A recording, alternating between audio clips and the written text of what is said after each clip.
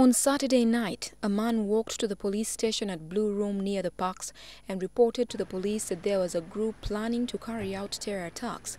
He said he was part of the group but had run away from the rest in Mbarara. Uh, he claimed that uh, the people, he left them in a certain place, so quickly moved in and uh, arrested uh, some of the people found there.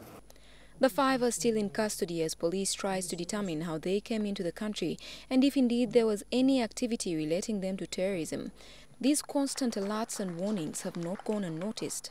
Terrorist groups in East Africa have evolved both in their sophistication and in their capabilities. We are all potential victims of terror, and therefore we must all be vigilant in ensuring its eradication wherever we find it.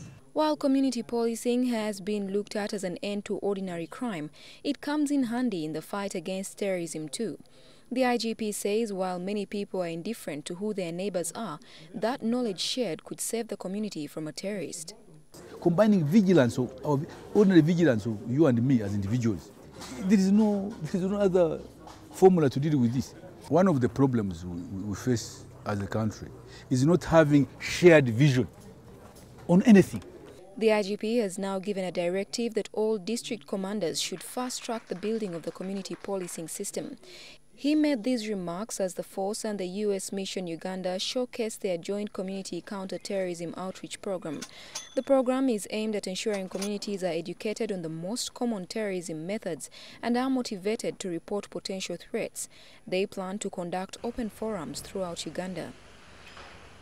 On July 11, 2010, Uganda suffered terror attacks, and knowledge of new threats accentuates the grave need for as much counter-terrorism initiative as possible.